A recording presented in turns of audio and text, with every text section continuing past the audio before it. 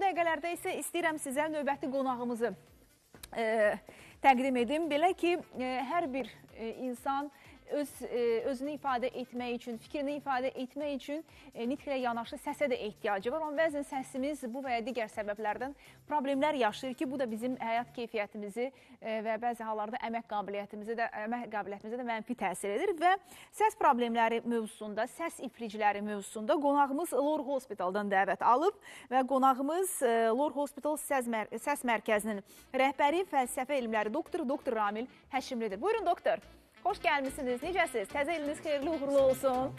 E, və biz bugün səs iflicilərindən danışacağıq, səhv etmirəmsə. Ümumiyyətlə, e, səs ifliciləri e, nədir və niyə yaranır? Bir daha salamlayıram həm sizə, həm də bizə baxan bütün tamaşaçılarımıza.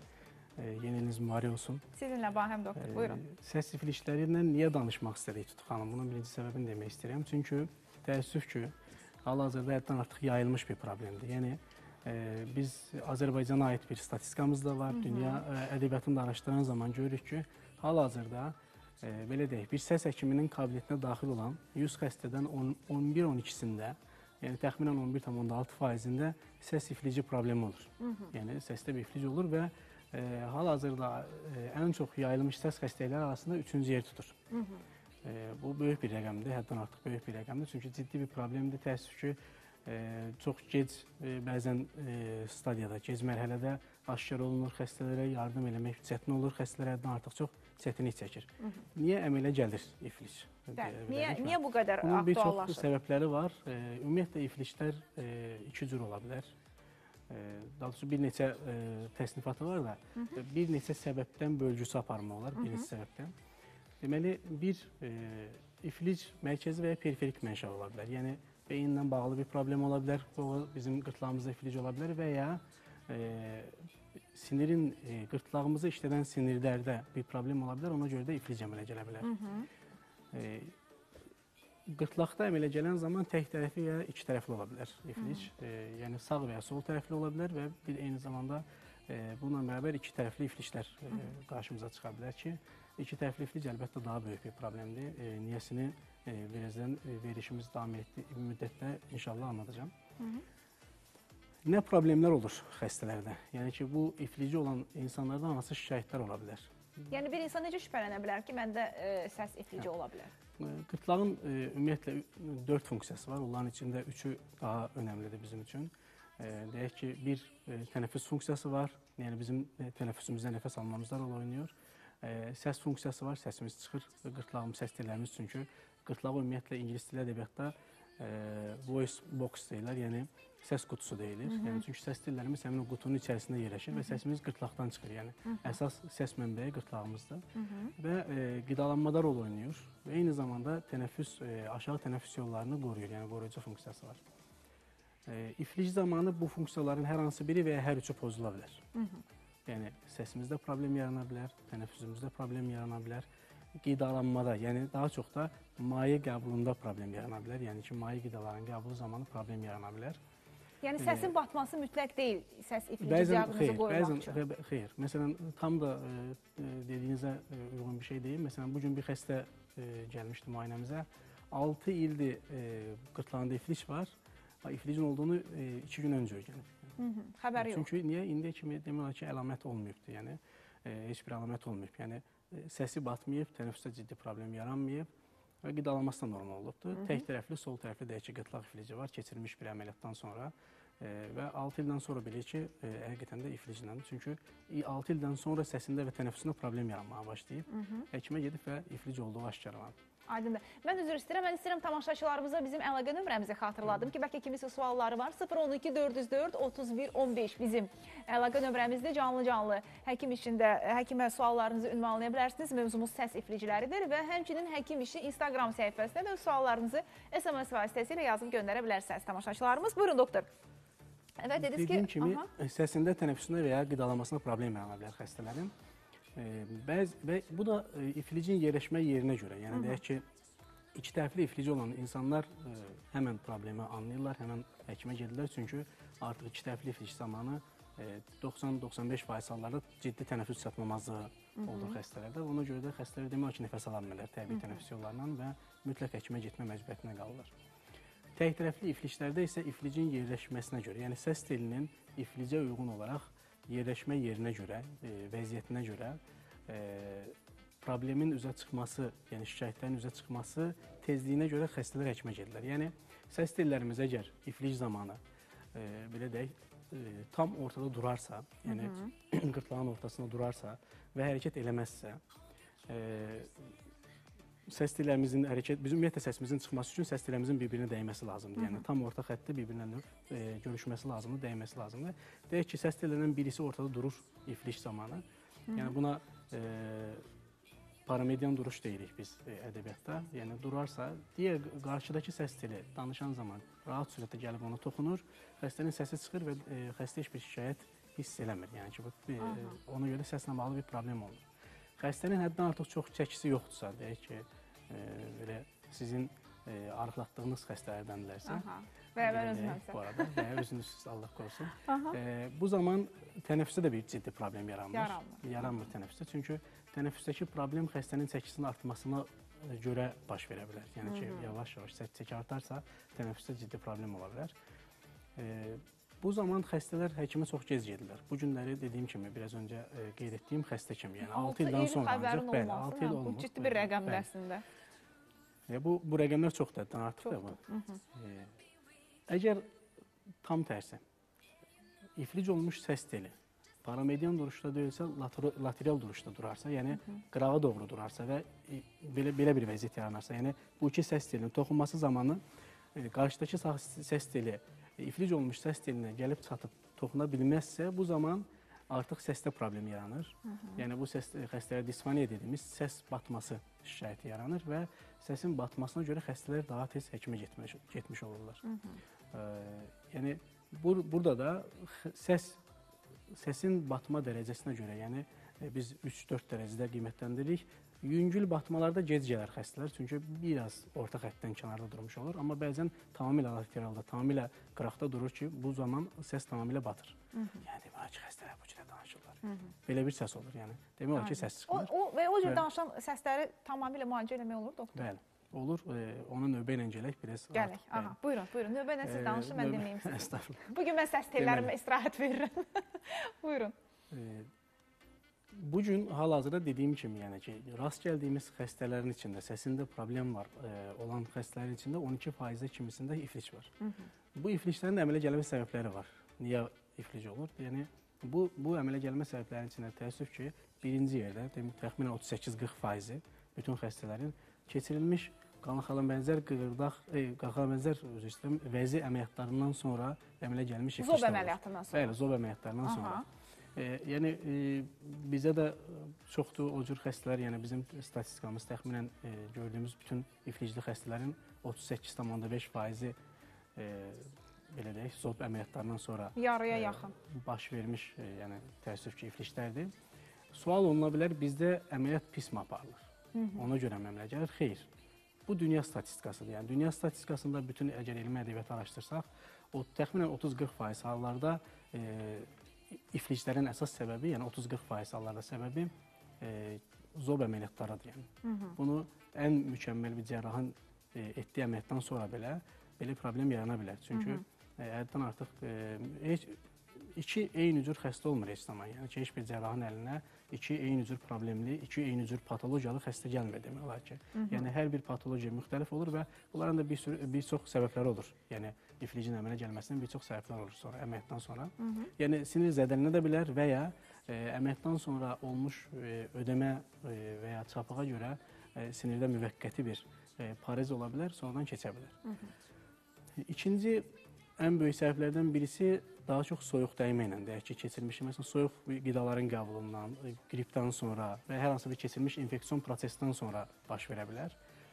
Bunlar təxminən bir 12-13% e, bu problemlərdən sonra əmələ gəlir və xəstələrin təxminən 10%-dən çoxu niyə olduğunu bilmir. Yəni idiopatik dediyimiz ifliclər də ola bilər.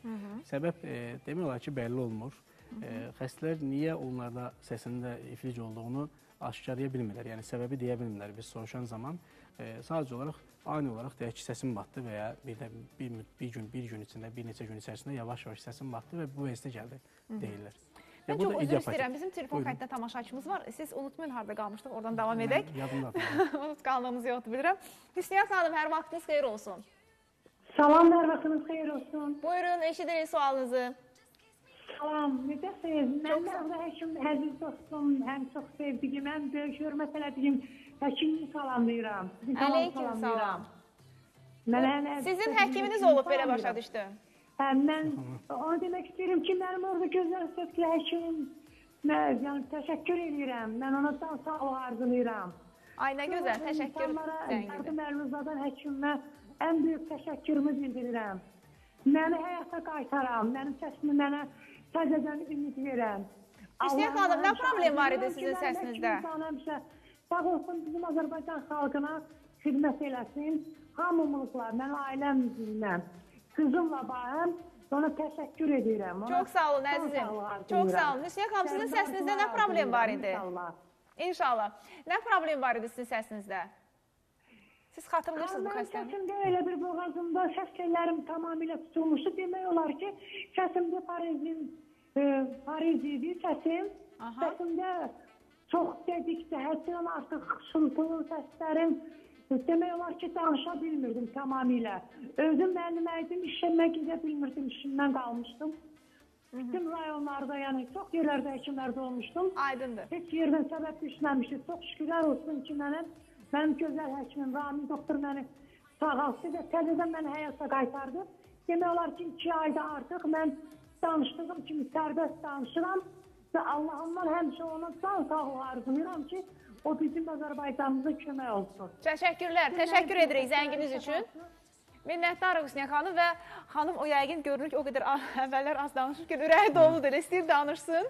E, Buyurun, elə, e, xəstə üzərində məlumat verin bizə. Utandırdı Hüsniyə xanım. E, bəlkə də layiq olmadığımız dərəcədə Yox, nə danışırsınız? Hər bir həkimin Hüsniyə xanımın belə deyək, Azərbaycan tibb tarixinə keçmiş insanlardan birisidir. Niyə? Aha.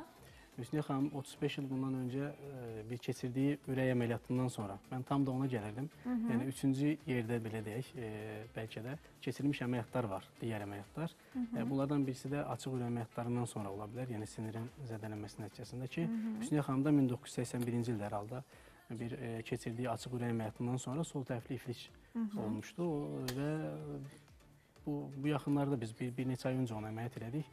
Bu yaxınlara kimi səsində bir xırıltı var idi. Dediyi kimi müəllimə idi və səsində də ciddi problem var idi. E, ilk dəfə olaraq Azərbaycanda biz ona inyeksion laringoplastika deyilən bir əməliyyat elədik. Yəni səs telinin içinə xüsusi e, kalsium hidroksapatit e, maddəsi yeridərək e, deyək tamamilə e, biraz öncə qeyd etdiyim lateralda durmuş bir səs telini ortaya gətirdik və hal-hazırda e, səsi normal çıxır. E, Ha, biz ümid gördük edirəm ki, problem də e, bundan bitəcək. Yəni bir daha inşallah belə bir problem olmaz. Aha, inşallah. səbəblərdə qalmışdıq. Dediyim kimi, üçüncü səbəblərdən birisi idiopatikdir. Yəni ki, e, səbəb bəlli deyil. Yəni ki, xəstələr bilmirlər niyə iflic olur. Bu hallarda e, bu xəstələr çox zaman daha çox bəlkə belə deyim, bəxti gətirmiş xəstələrdir. E, xəstəlik gəldiyi kimi də gedə bilər. Yəni hətta müalicəsiz belə bəzən səs açıla bilər. Çünki burada altda yatan bəzi səbəblər var xəstələrin üzərə çıxara bilmədikləri, stressə bağlı ola bilər, başqa problemlərə bağlı ola bilər. Və e, dediyim kimi gəldiyi kimi də xəstəlik gedə bilər və ya xəstəliyə yüngül bir müalicə ilə artıq hətta cərrahi əməliyyata belə ehtiyac olmadan xəstələr sağala bilər bu halda. Bundan sonra bir çox yenə e, səbəbləri var xəstəliyin. Dediyim kimi açıq e, ürək əməliyyatlarından sonra problem yarana bilər. Boyunda olan hər hansı bir problem e, əməliyyat e, aparılmış əməliyyatlardan sonra yemək borusunun e, xərçəngində ola bilər və mərkəzi mənşəli eyni zamanda ola bilər. Yəni baş beyində olan hər hansı bir problem e, əgər siniri e, yəni problemdən sonra e, sinirdə problem əmələ gələ bilər və e, iflic ola bilər. Yəni tək tərəfli və ya iki tərəfli. Şikayətləri də sadaladıq öncədən. Yəni e, nə şikayətlər var dediyim kimi, tənəffüs, səs və qidalanmanın pozulması ilə bağlı xəstələrdə şikayət ola bilər. E, Hansı e, müalicə üsulları var? Hansı müalicələr olunur? Yəni bu e, bu gün bilirsiniz ki, artıq tibbdə e, bütün dünyada qəbul olunmuş protokollar var. Yəni ki, xəstəliklərin müalicə protokolları var. E, bütün dünyada hal-hazırda qəbul olunmuş protokollarda tək tərəfli və iki tərəfli qırtlaq iflişlərinin protokolları var, müalicə protokolları hansılardır? E, tək tərəfli iflicdə əgər dediyim kimi iflic səsə təsir edirsə daha çox, səsdə yəni problem yaranırsa, bu zaman e, inyeksion laringoplastika deyilən e, bir üsul e, istifadə olunur. Hətta konqreslərin birində belə deyək, tanış olduğum, söhbət elədiyim doktorlardan birisi, məşhur bir səs həkimlərindən birisi dünyada bu problemi müzakirə edən zaman mənə belə bir ifadə işlətmişdi. Mən gördüyüm anda, gördüyüm yerdə xəstəyə inyeksiya edirəm, yəni. Deyək ki, əlbəttə Bu qədər qəbula gəlirsə. sadədir.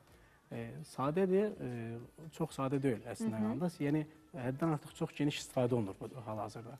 İnyeksion materiallar nədir inyeksion laringoplastika? Yəni e, kənarda durmuş səs telinin içinə, daha doğrusu arxasına xüsusi bir maddə vurularaq, gel vurularaq səs teli ortaya itəlilir və e, paramedian duruşa gətirib, ortaq duruşa gətirib qarşı səs teli ilə görüşməsinin, e, çapışmasına artıq imkan yaradılır. E, bunu e, yerli anesteziya altında da eləmək olar və ümumi Bir daha əməliyyatın adını deyin doktor. inyeksion laringoplastika. İnyeksion laringoplastika. Evet. Vaqif müəllim telefon xəttindədir. Zəngi qəbul edək istəyirsiniz. Vaqif müəllim, hər vaxtınız xeyir olsun. Salam aleyküm, bayramınız mübarək. Çox sağ olun, ikinizi sizlə salamlayıram. Mənim sualım doktoradır. Buyurun. Ə, hə- Həkim, mənim qızımda demək e, zov var, e, demək olar ki, çox döyüldü zovdur. Bəzi vaxt soyuq olan vaxtı hə, demək qızımda səsi batır. Səsi batır, mən deyirəm bəlkə soyuq olmadan da əsəbləşirəm. Ancaq bir müddət sonra keçib gedir. Bu bu nədəni ola bilər? Aydındırmı sual doktor? Aydındır, aydın. Aydındır Vaqif müəllim sualınız. Təşəkkür edirik. Sizin də təzəlliniz uğurlu olsun. Buyurun cavablandıraq. Çox sağ olun suala görə. E, problem zobla bağlı dediyiniz kimi ola bilər. E, və ya tamamilə onunla bağlı olmaya da bilər. E, ona görə də əslində bu xəstəni belə vəziyyətdə müayinə etmək lazımdır. Yəni e, ümumiyyətlə səs xəstələrinin e, mən bir öncəki e, verişlərin birində də demişdim burada çıxış eləyən zaman e, əgər səsdə olan problem 6 gündən çox davam edirsə, e, söhbət tək iflicdən getmir. Yəni səsinizdə 6 gündən çox problem varsa və bu təkrarlanarsa mütləq həkimə getmək lazımdır. İxtisaslaşmış bir klinikada mütləq bir səs müayinəsi olmaq lazımdır. E, düyünlü, çox düyünlü zobu olan xəstələrdə bəli, səs telində problem ola bilər. Hər halda e, yəqin ki, endokrinoloqun müalicəsini alır e, xəstəmiz və ya bilmirəm artıq alırmı, almırmı. Çünki e, bəzən təəssüf ki, bu problemlə də rastlaşırıq. Xəstələr həddən artıq gec endokrinoloqa belə problemini bildiyi halda həddən artıq gec gedir və ya e, təyin olunmuş dərmanları da e, müalicəni də vaxtında almır. E, gözəl olar ki, həm endokrinoloq müayinə eləsin xəstəni, həm də eyni zamanda bir qulaq-burun boğaz həkimi, yəni səslə məşğul olan bir həkim mütləq müayinə eləsin. Bundan sonra daha dəqiq demək olar. İnanmıram ki, iflic olsun. Yəni əgər xəstədə e, periodik səs tutulub açılırsa, e, burada iflic olma ehtimalı çox azdır. Amma səs tellərində qadınlara daha çox belə rast gələn hipotonus tip disfoniya dediyimiz e, bir problem ola bilər. Yəni səs tellərinin tonusu aşağı ola bilər. Ona görə də bir müayinə olunsa çox rahat surətdə müalicə oluna bilər. Ciddi problem deyil hər halda. Yəni e, sualdan anladığım üzrə. Daha E, bir sual var. Müayinə olsa ya gözəl olar. Aha, Buyurun. daha bir sual var. Rusiyadan yazıb bizə Hicran xanım. E, yazıb ki, mən sizi Rusiyadan izləyirəm. Ara bir səsim tutulur, qaymaritim var idi, müalicə olunmuşam. Buna bağlı ola bilərmi? Arada bir səsi tutulur, qaymariti var idi, müalicə olunub. Müalicə inşallah yəqin ki, tam olunubdur müalicə. Aha. E, qaymarit olan zaman belə, yəni ki, e, biraz yenə e, bunu e, bu suala cavab vermək üçün daha geniş bir e, anla, məlumat verməm lazım olacaq. Biz çox zaman elə bilirik ki, bizim səsi, səsimiz ancaq səs tellərimizdən çıxır və hər şey bundan bitir.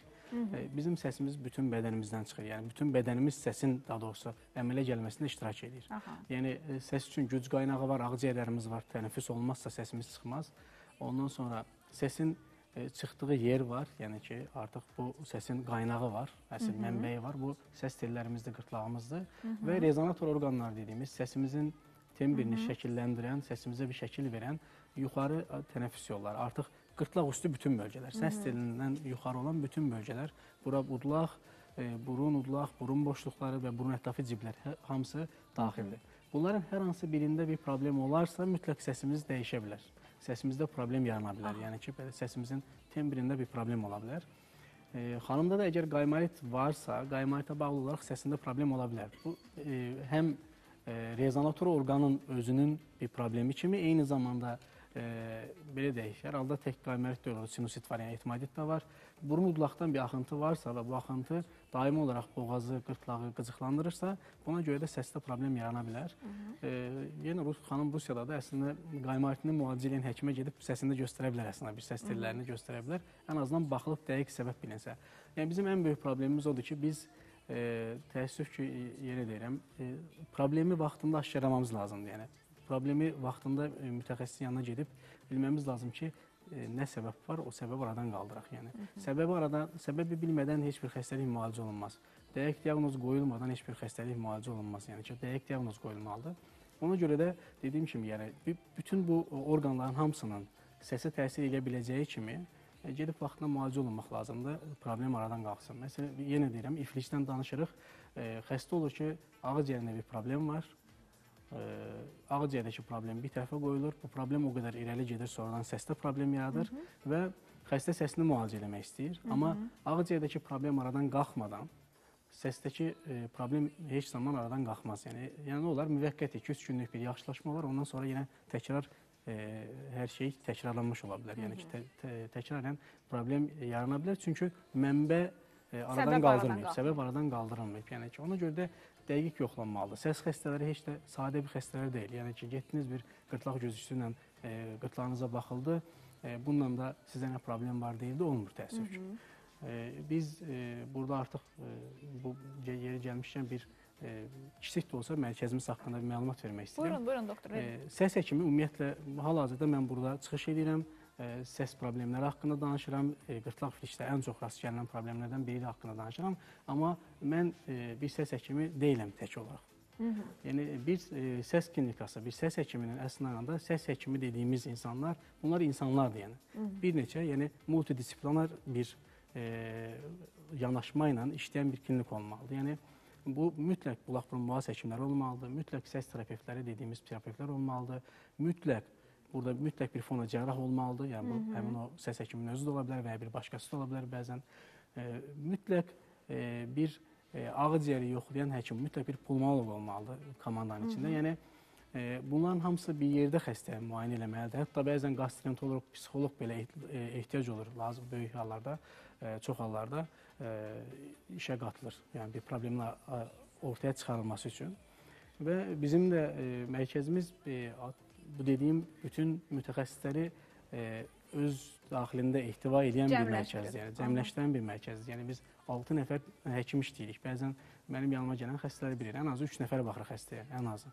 Yəni e, çünki bu 3 nəfərin baxıb e, ortaq ağlının e, belə deyək, müzakirəsi ilə problemi ortaya qoyub müalicə etmək lazımdır. Biz təəssüf ki, indiyə kimi öyrənmişik dediyim kimi, bir tək boğaz qırtlağımıza baxılsın, bir tək qırtlağımıza dərmanlar tökülsün, həm inqalyasiya olunsun. Bunlar e, bir doğru dürüst bir səs müalicəsi deyil. E, və e, fürsətdən istifadə edib mən tam da burdaykən, yəni ki, verişə çıxmadan 2 dəqiqə bir şey öyrəndim. E, bizim e, tələbələrimizdən biri artıq, yəni ki, həm tələbəmiz idi artıq indi də çin-çinə çalışdığımız tələbələrimizdən biri hər halda bir neçə saat, bir saat falan öncə analogdur Dilşad xanım. Buradan da onu təbrik edirik. Ay, təbrik edirik hər halda Dilşad verişlərimizin xanımı. birinə Dilşad xanımla da bərabər çıxacağıq. İnşallah, inşallah. Yəni e, onu təbrik edirəm. E, Xeyirli övlad olsun. Fürsətdən istifadə edib inşallah. İnşallah. E, yəni bu komanda bir yerdə çalışarsa problem ortaya çıxar. Yəni verilən sualları görürsünüz. Qayma etibarıyla e, müalicə olundum, amma səsim periodik batır. Deyək ki, e, zob var, düyünlü zob, problem olur səsdə. Bu, ne- yəni bunların hamısı dəqiq aşkar olunmalıdır. Yəni bir tək həkim baxmamalıdır. Mən e, bir tək həkim burada yəni səs problemini tək başına ortaya çıxardıb müalicə edə bilməz yəni. Yəni E, komanda yəni, şəklində komanda şəklində bəli, bir e, bir yanaşma ilə xəstələrə akademik bir yanaşma ilə e, səbəb ortaya qalxmalıdır. Çünki e, niyə bunları deyirəm? Sizin e, verilişiniz əsnasında biz bəzən e, bilmirəm artıq bəlkə də biraz tənqidi yanaşma olacaq. Teleməkanda bəzi e, yəni hək çox həkim çıxır, çox şey danışılır falan. İnsanlarda bəlkə artıq e, kimin doğru, kimin yanlış danışmasına qarşı belə bir tərəddüd olur. Tərəddüd olur. E, bu verişlər əslində qalanda bir maarifləndirməyə xidmət eləməlidir. Çünki biz bura çıxırıqsa insanlarımıza doğru yolu göstərməyə çalışmamız lazımdır. Yəni bizim işlərimizdən birisi budur. Yəni.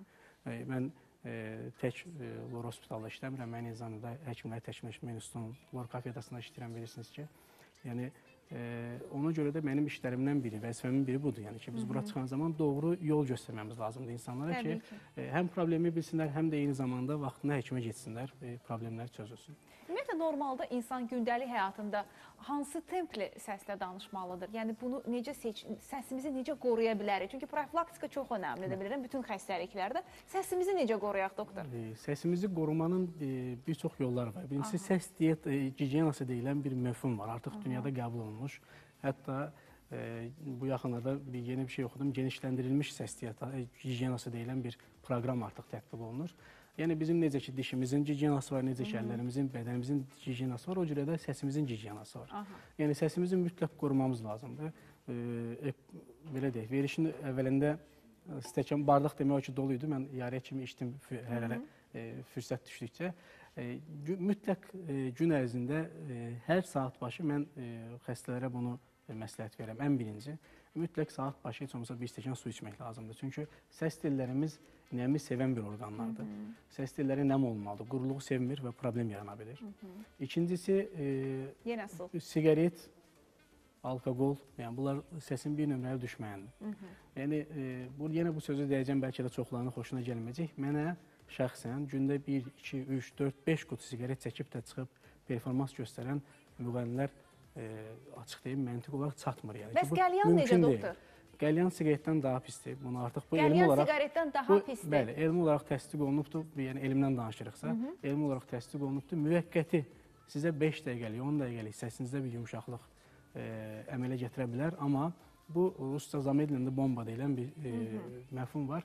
Yəni səsi sonra çıxacaq bir əsnada bir Çünki bizim bombadır. e, bir aparıcımız var, bizim mübahisəmiz düşdü bu mövzuda. Dedi ki, mən siqaret çəkmirəm ki, amma hər gün qəlyandadır. Yox, qəlyan siqaretdən daha çoxdur, bu artıq təsdiq olunub da alınacaq, al, e, yəni daha ciddi sürətdə həm səsə, həm də ağciyərlərə təsir edir. Aydın. Yəni səs tellərə həm də ağciyərlərə.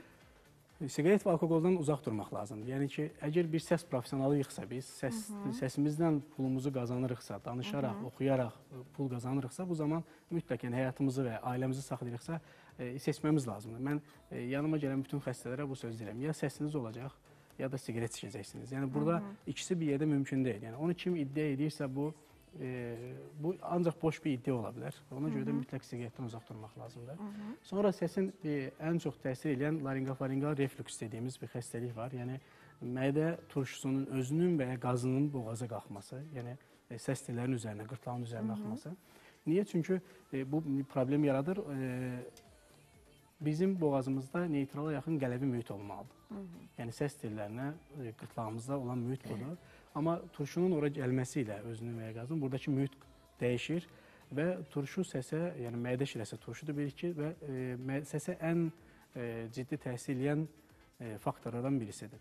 Ona görə də yenə qidalanma məsələsi var. Çünki reflüks artıran problemlər var. Burada qidalanma bir e, ən başda gəlir. Ondan sonra stress faktorlu ola bilər. Yəni reflüksi artıracaq hər şeydən uzaq durmamız lazımdır. Yəni acılı, daha çox istotlu yeməklərdir.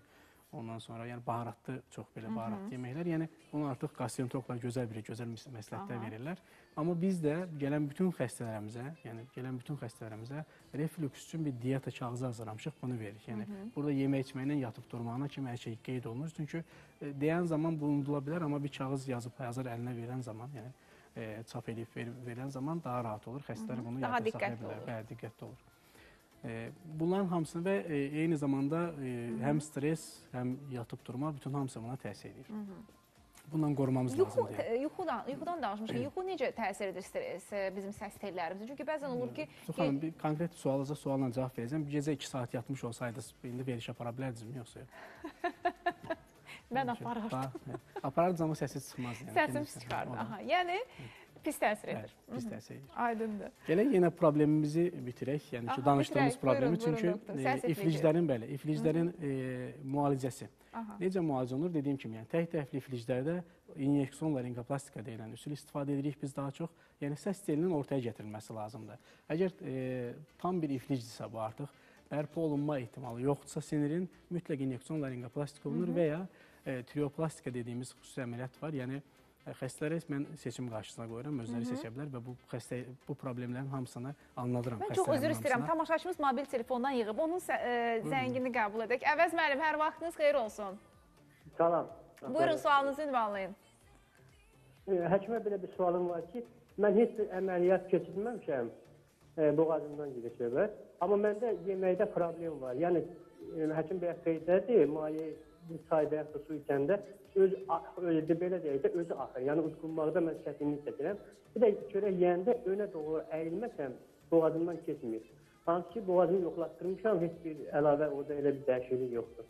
Əvəz bəy, üzr istəyirəm, telefon söndü məndən, mən sual versəm varmı? Boğazı necə yoxlatmısınız? Nəyi yoxlayıblar boğazda? Yəni o e, zol deyirlər də belə bir şey. Ondan sonra boğaz həkiminə yoxlatmışam, elə bir şey yoxdur. Sizin qırtlağınıza baxılıbmı? Hə, belə bir şey. Qırtlağınıza baxılıbmı yoxsa elə e, ancaq e, Baxılıb, daxil, bəli. qırtlağınıza baxılıb. baxılıb? Yəni problem yoxdur, iflic yoxdur, dəqiq eləmi? Yəni sinir sinirlə əlaqəli dedilər mənə. Əvəz bəy, sinirlə əlaqəli ola bilər bir, bəli, doğru düz deyiblər. Yəni ki, sinirlə bağlı, yəni tam sırf bir stres faktoruna bağlı belə ola bilər. Yəni ki, orqanik bir problem olmadan. Bundan başqa qırtlağınızda bir problem ola bilər. Mütləq, yəni ki, dəqiq yoxlanması lazımdır və yemək borunuz mütləq müayinə olunmalıdır. Yəni əgər qidalanmada bir problem varsa, dediyiniz kimi, yəni xüsusi bir poz alırsınız, sonra qidalanırsınızsa, mütləq yemək borusu burada müayinə olunmalıdır. Yəni yemək borusuna problem ola bilər, e, gözdən qaça bilər yəni. Və keçək Mu- mövzumuza. Bəli, müalicə dediyim kimi, yəni inyeksiyon laringoplastika və ya ikinci trioplastika. Trioplastika nədir? İnyeksiyon laringoplastikanı biz oturduğu yerdə belə xəstənin e, əməliyyat eləyə bilərik. Yəni xüsusi iynəsi var, xüsusi maddə var. Yəni dediyim kimi kalsium hidroksapatit maddəsindən geniş istifadə edirik. Çünki artıq e, bir çox e, ilk olaraq e, insanın öz beyni e, inyeksiya olunubdur ümumiyyətlə. Sonra teflon inyeksiyası olmuşdur. Başqa e, maddələr, amma hal-hazırda daha çox qalan, daha çox qalıcı effekt verən e, maddə kalsium hidroksapatit maddəsidir ki, bunu da biz istifadə edirik bu gün. Bundan başqa tiroplastika dediyimiz əməliyyat bu nədir? Bu qalxana bənzər qığırdağa yenə xəstənin e, yüngül e, bir anesteziya altında xəstənin qalxana bənzər qığırdağının üzəri açılaraq kiçik bir pəncərə açılır, səs teli ortaya itirənib arxasına bir silikon e, transplantat qoyulur və səs teli bu zaman daha e, artıq tam olaraq orada qalır yerində və bu e, əgər inyeksiyon laringoplastika bir neçə ildən sonra təkrarlanma ehtimalı varsa, e, tiroplastikadan sonra artıq bu e, ehtimal demək ki, olmur. E, iki tərəfli iflic. İki tərəfli iflic zamanı hansı əməliyyat olunur? İki tərəfli iflic ümumiyyətlə həddən artıq problemli e, təəssüf ki, xəstələrdir bu xəstələr. Mən açıq deyim, e, yanıma gələn iflici xəstələrin, tək tərəfli iflici xəstələrin hamısı indiyə kimi məndən bu sözü eşidiblər hər halda. E, bunu tək, tək ruh yüksəkliyi vermək üçün deyil, eyni zamanda həm xəstənin, həm də mənim belə deyək, xoşbəxtliyim açısından. Niyə? E, mən xəstələrə e, şükür ki, sizdə tək tərəfli iflic var. Mən tək tərəfli iflic görən zaman sevinirəm. Çünki bu buradakı problem çox ciddi olmur. İki tərəfli iflic olan zaman xəstənin tamamilə tənəffüsündə problem yaranır. E, ciddi bir tənəffüs pozğunluğu olur və bu xəstələrin çoxu e, uzun müddət traxeostomiya olunur, bilirsiniz, yəni boğazın xüsusi bir boru qoyulur və e, traxeyadan və o, onunla nəfəs almalı olurlar. Əgər e, hava yolu açılmazsa, yəni vaxtında Aha. əməliyyat olunaraq qırtlaqdakı problem aradan qaldırılmazsa. E, çü- çünki burada ən əsas məsələ bir insan danışmadan yaşaya bilər, amma nəfəs almadan yaşamaq mümkün deyil. Yəni. Təbii ki. E, tənəffüs e, funksiyası pozulduğuna görə bu zaman nə edirik biz? Yəni hər iki səs teli iki tərəfli frizlər zamanı demək olar ki, paramedian duruşda olur. Yəni qırtlağın mənfəzini demək olar ki, 90%-dən də yuxarı bir e, ehtimalla bağlayır.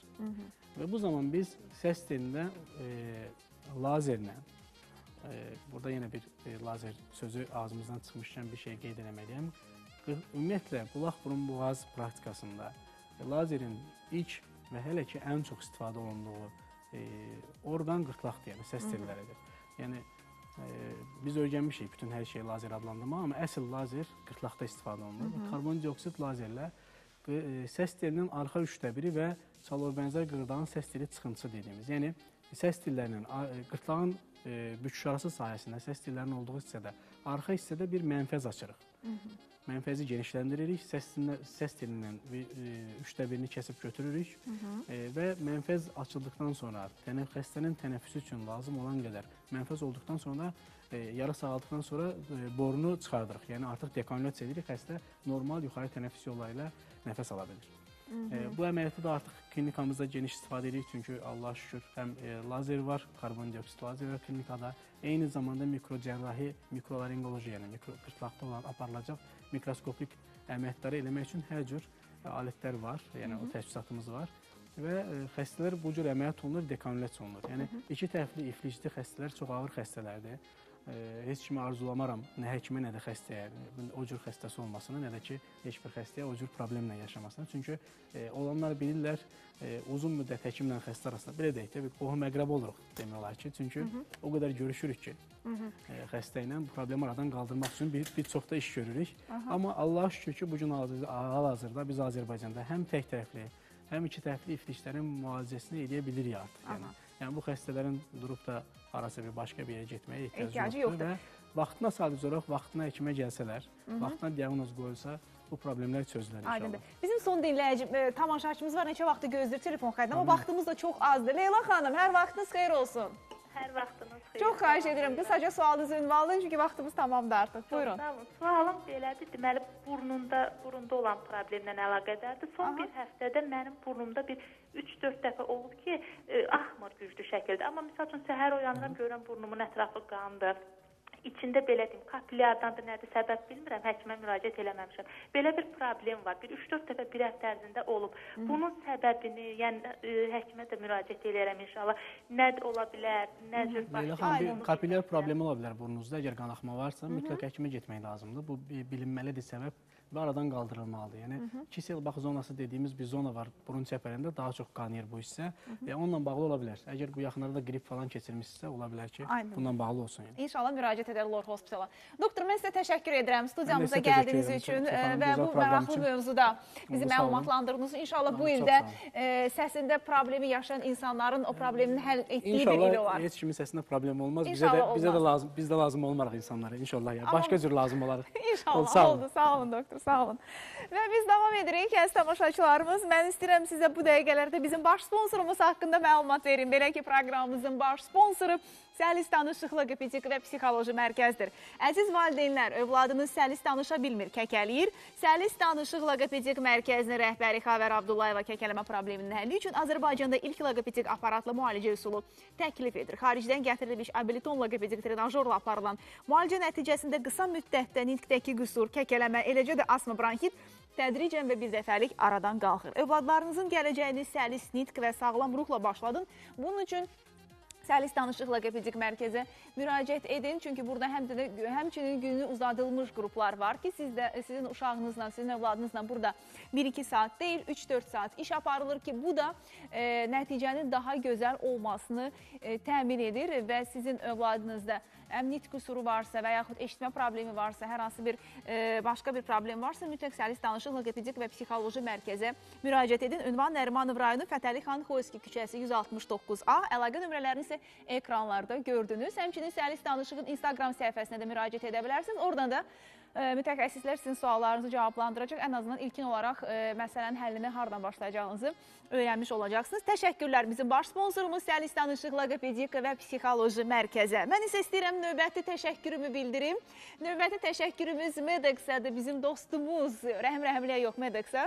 Rəhim Rəhimliyə də təşəkkür edirik, amma əsas Medex-dən danışırıq indi. E, Medex, e, MMC Verilişimizdə göstərdiyi təşkilati dəstəyə görə tibbi kosmetoloji laborator və sanator kurort avadanlıqlarının satışını, quraşdırılmasını və texniki servisini, o cümlədən tibbi sərf məzəmələrin satışını həyata keçirən Medex MMC dərin təşəkkürümüzü bildiririk. Sizin də hər hansı bir tibbi müəssisəniz varsa, o zaman mütləq e, Medex MMC-yə müraciət edin ki, sizə onlar ekranda görüntü nömrələrə zəng edir, sizə xüsusi bir təklif hazırlayır və sizin tibbi müəssisənizi həm gözəl avadanlıqla təchiz edirlər, həmçində tibbi sərf məzəmələri ilə təmin edirlər. Geyimim gözəldir, amma özümündür. Təşəkkür etməyəcəm heç kimə. Saç dizimi və makiyajım üçün də təbii ki, e, biricik naziləmiz var, ona təşəkkürümüzü bildiririk.